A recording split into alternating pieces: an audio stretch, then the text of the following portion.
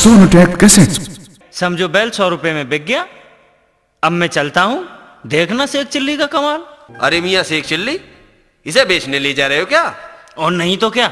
इसे फ़िल्म दिखाने ले जा रहा हूँ। अबे सौ रुपए में तो नया बैल आ जाता है। इसकी तो खाल लटक रही है। अबे अपना काम कर।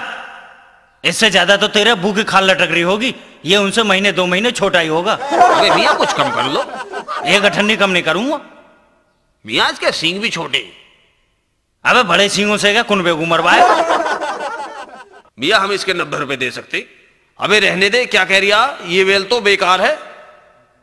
क्यों? अबे देख इसका तो पेट फूट गया। क्या? देख लो मिया। हैं? ये कैसे हो गया? मिया इसका पेट फूट गया।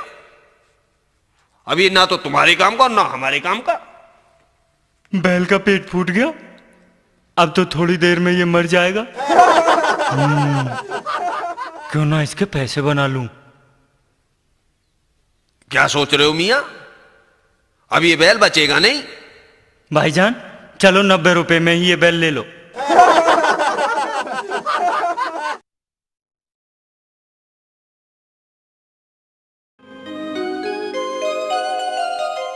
सेक चिल्ली? सेक चिल्ली। जी अम्मी जान। बेटा ये ले पैसे। हलवाई की दुकान से मेरे लिए रबड़ी ले आ। रबड़ी? हाँ रबड़ी। अम्मी जान ये रबड़ी होती क्या है? अरे पागल रबड़ी खाने की होती है। हलवाई की दुकान पर मिलती है। अम्मी जान रबड़ी कैसे बनती है? बेटा बहुत सारी मेवा मीठा दूध एक जगह मिलते हैं फिर बढ़िया रबड़ी तैयार होती है। ठीक है अम्मी जान मैं अभी जा रहा हूँ। अरे जरा जल्दी आना जी ठीक है?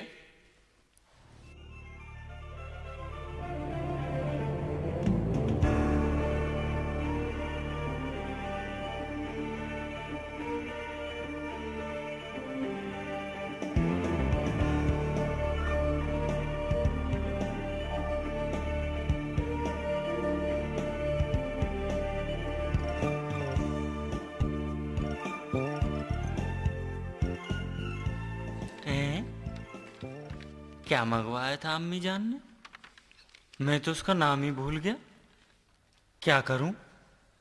याद ही नहीं आ रहा। अम्मी जान से पूछ कर रहा हूँ नहीं नहीं।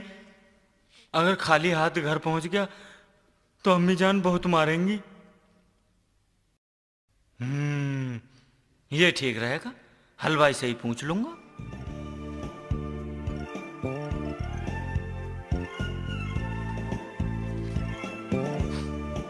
सेठ जी सेठ जी वो दे दो जो अम्मी जान ने मंगाई है। अरे मियाँ क्या मंगवाया है तुम्हारी अम्मी जान ने? वो दे दो। मगर मियाँ वो क्या? जिसके लिए मुझे अम्मी ने पैसे दिए हैं। अरे मियाँ साफ़ साफ़ बताओ तुम्हें लेना क्या है? अरे वही जिसका मैं नाम भूल गया हूँ। मगर मियाँ वो क्या? ये सेठ बिल्कुल बेवकूफ़ है। इसकी समझ में ऐसे नहीं आएगा। अच्छा तो ये बताओ ये क्या है? मियाँ ये तो लड्डू हैं। और ये क्या है?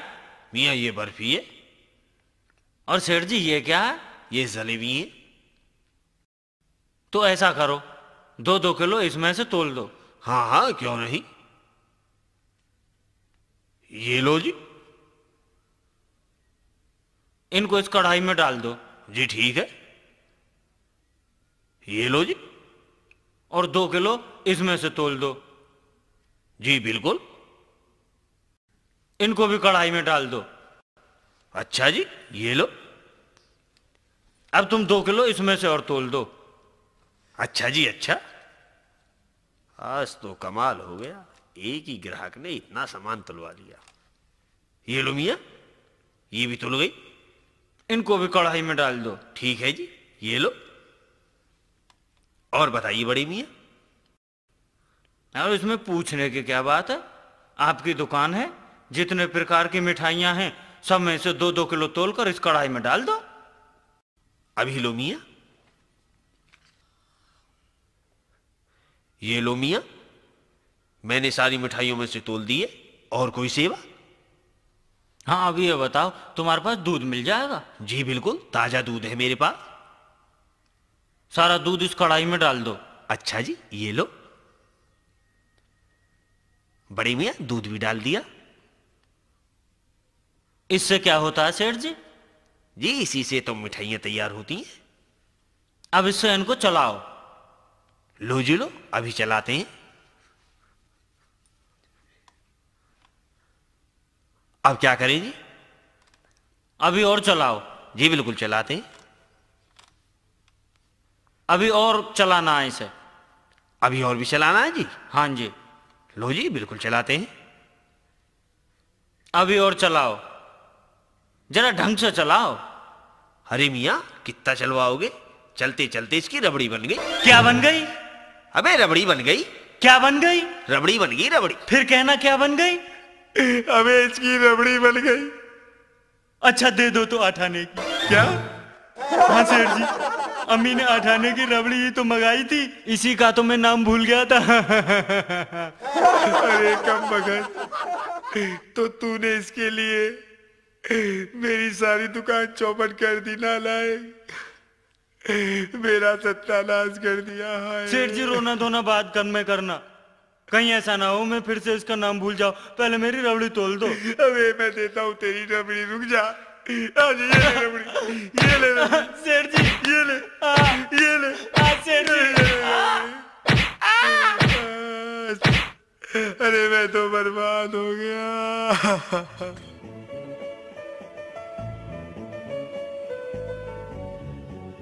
अरे बेटा ले आया रबड़ी अम्मी जान तुम ऐसी चीज़ मत खाया करो। क्यों? खाती तुम और कमर मेरी टूटती है। क्या मतलब? तुम्हारी रबड़ी के चक्कर में हलवाई ने मेरी कमर तोड़ दी। इसका मतलब तू रबड़ी नहीं लाया? अगर मेरी जगह तुम होती तो तुम भी बिना रबड़ी लिए ही घर भाग आती। एक तो रबड़ी नहीं लाया ऊपर से बातें और बना रिया है। ठहर जा ये ले कमबख्त, ले, ले ले ले, ले कमबख्त। जवान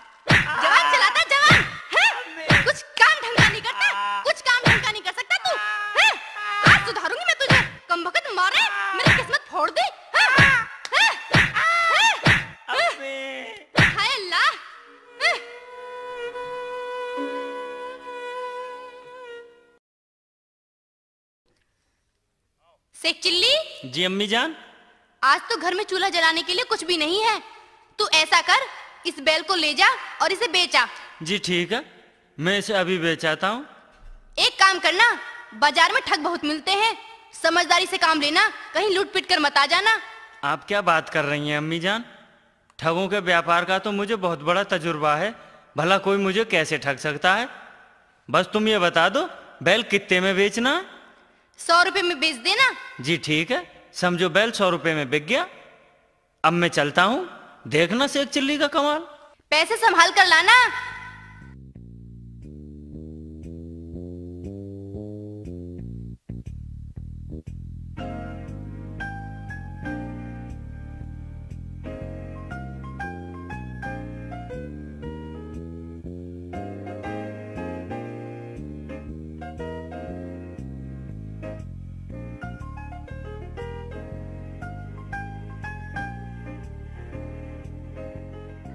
मियाँ बैल बेच रहे हो क्या?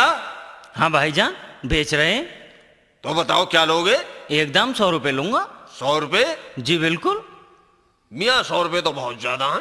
देख लो मियाँ लेना है तो सौ रुपए निकालो वरना निकल लो ना सा मियाँ हम तो उस बैल के नब्बे रुपए दे सकते हैं। अपना काम कर बड़ा आया बैल खरीदने वाला। अले जब जेब में पैसे नहीं है तो सौदा करना कोई ज़रूरी है। चल निकल ले यहाँ से देख लो मियाँ तुम्हें इससे ज़्यादा पैसे पहल के बिल्कुल नहीं दूँगा। मैं कह रहा हूँ मेरा भेजा खराब मत कर निकल जाए यहाँ से वरना अभी तेरी हड्डी पसली एक कर दूँगा। बड़ा है बैल खरीदने वाला कंगाल कहीं का। साले मुझे कोई नहीं ठग सकता।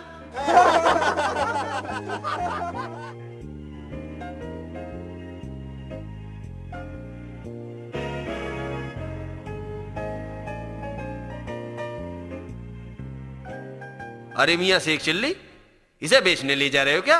और नहीं तो क्या? इसे फ़िल्म दिखाने ले जा रहा हूँ? मेरा मतलब है अगर बेच रहे हो तो बताओ क्या लोगे? कम ना ज़्यादा एकदम सौ रुपए लूँगा। सौ रुपए? कम ना ज़्यादा। सौ रुपए तो ज़्यादा मांग रहे हो मियाँ। तो क्या फ्री में दे दो? नहीं मियाँ मैंने कब कहा फ्री में दे दूँ? तो फिर? नब्बे रुपए ले लो। अबे तुम देश के कंगाल आज यहीं इकट्ठे हो गए हो। किसी के पास पैसे हैं भी या नहीं? देख लो मिया।